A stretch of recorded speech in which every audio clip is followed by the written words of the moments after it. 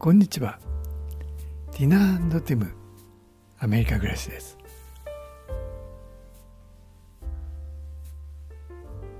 本日はトラベルトレーラーの旅。ポートランドからシアトルへという話です。今回はシアトルのボーイング社ミュージアムフライトに行きましたのでそれについてお伝えをしたいと思います。このチャンネルはロサンゼルス在住リタイア夫婦の日常をお伝えしています。是非ともグッドボタンチャンネル登録をお願いいたします。ポートランドの KOA から朝早く出発しましてシアトルに向かいました。シアトルの方はですね、末っ子が住んでいます、まあ、今回一番のメインイベントということなんですが、えー、実際、え、何回もねロサンゼルスの方には、えー、末っ子は来ておりますけれどもね、えー、実際今住んでいるお家を見に行ったというのはこれが初めてということになりますね、えー、ロサンゼルスにいた末っ子がですね、え、ポートランあシアトルに行ってから4年経っていますのでねえ、どんなところがシアトルなのかという、まあ、そんなねことを、まあ、見たいということで、え、シアトルを今回行くことにしております、え、そしてね今映像にあります、え、ボーイング社のミュージアムフライト、え、こちらをね私はちょっと見たいかったので、えー、今回シアトル行った時にここ見たいんだけどなという話を節句にしましたらね、えー、僕も見たいということでまあ最初はね、えー、こういったところ私だけが楽しいんじゃないかというふうに思っていたのであの、まあ、無理にという話ではなくて、えー、どうだろうかねという話をしましたらね、えー、末っ子もねまだ行ったことがないということで、えー、今回はね末っ子夫婦とえ、我々4人でこちらの方に来ました。でシアトルなんですが、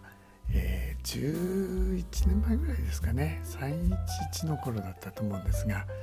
えー、一回シアトル旅行を計画しました。でまあ計画したのがですね実は、えー、たまたまアメリカンエアラインの、えー、キャンペーンでジャパンエアラインのシアトル成田便というのがね、えー、ちょうど、えー、キャンペーンでビジネスクラスが取れたので、まあ、その乗り継ぎの時に、何日かシアトルに滞在して、え、こういったねところを行きたいということで計画はしていたんですけれどもこれがですね、まあ、311ということで、え、もちろんねえ、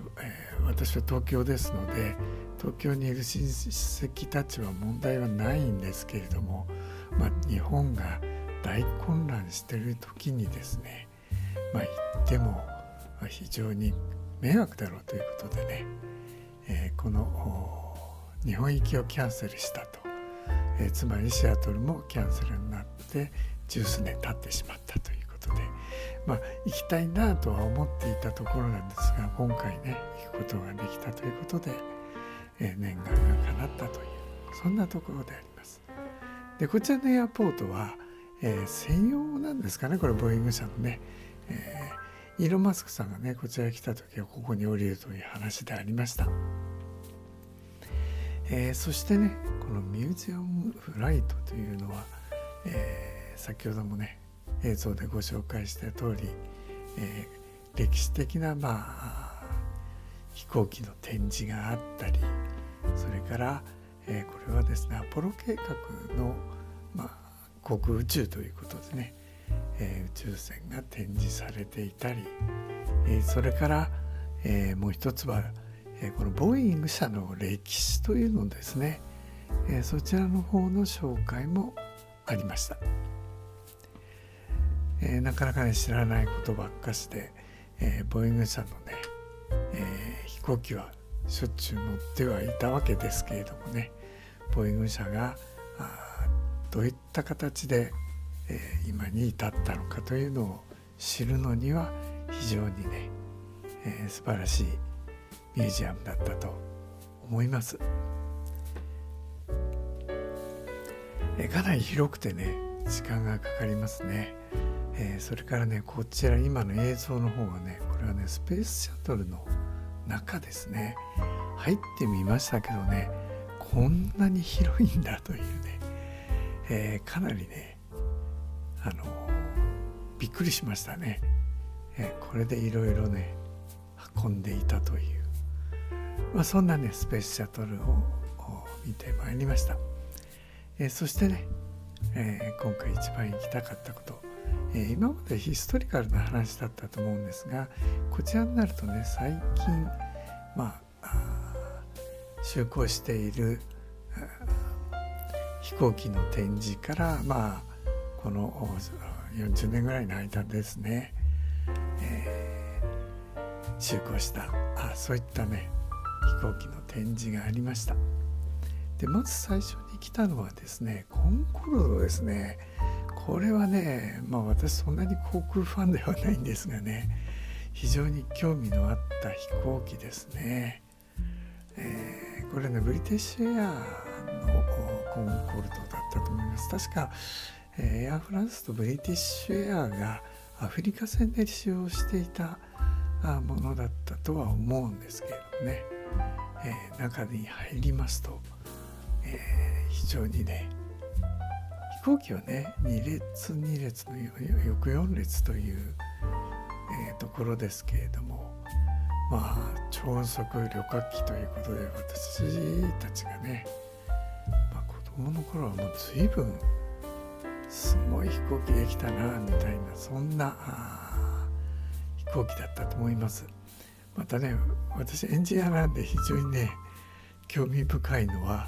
えー、ほとんど戦闘機でしか使われていなかったアフターバーナーというシステムですね。これをね、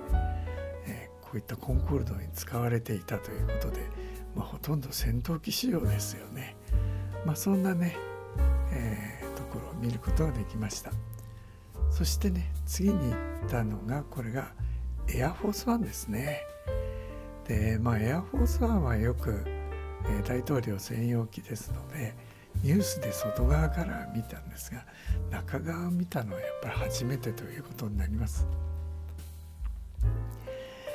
まあねいろいろこういった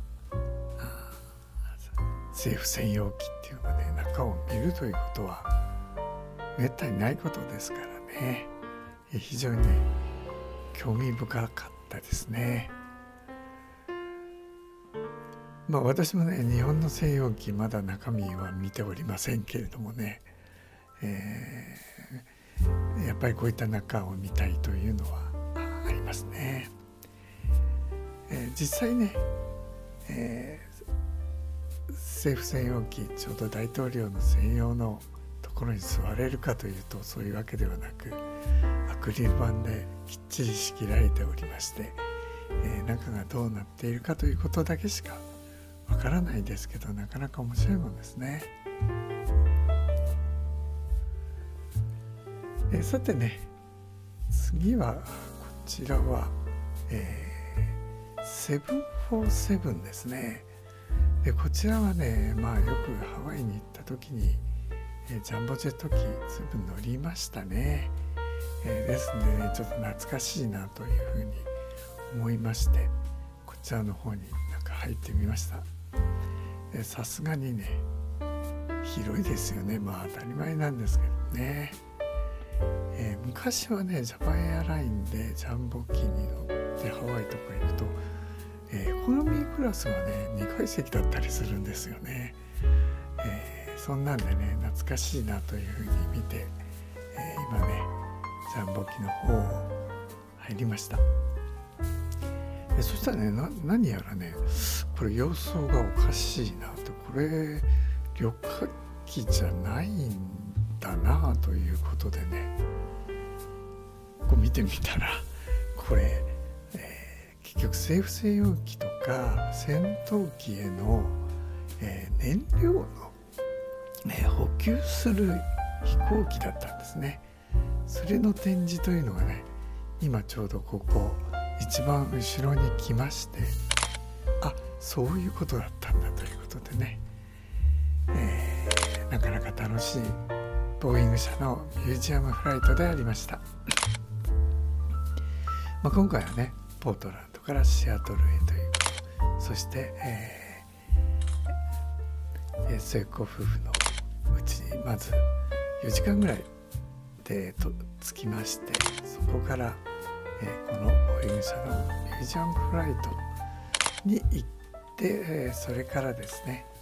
え、ベルビューというところにあります、え、台湾料理屋でね食事をしたというそんなあいうことでございました、え、本日はトラベルトレーラーの旅、え、ポートランドからシアトルへという話でした。